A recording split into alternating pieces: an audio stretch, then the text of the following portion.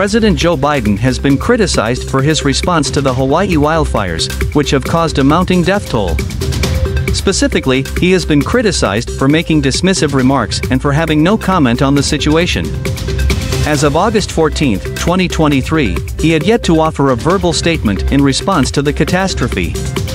Many have expressed frustration with his lack of response, with some saying that there is no excuse for his silence, it showed a lack of leadership during a time of crisis, it made it seem like Biden didn't care about the people of Hawaii, it was a missed opportunity to show compassion and support to the victims. In response to the criticism, Biden issued a statement on August 15. 2023, expressing his condolences to the victims and their families. He also said that he was working with the state of Hawaii to provide assistance to the victims.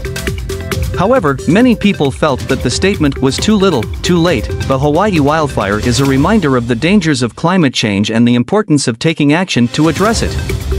It is also a reminder that presidents need to be prepared to respond to natural disasters with compassion and leadership. Biden's response to the Hawaii wildfire fell short on both of these counts. Please subscribe, share your thoughts opinions, and join the conversation. Thank you.